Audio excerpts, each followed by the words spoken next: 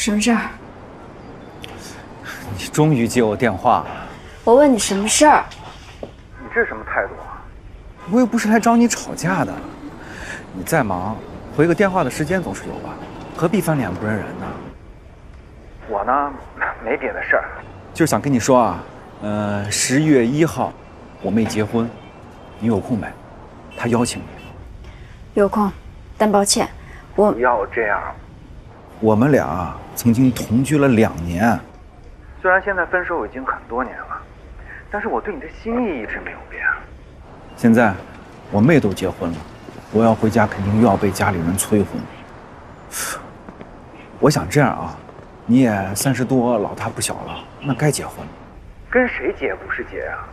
我们俩好歹也是老相识，我又是你第一个男人，我觉得我们俩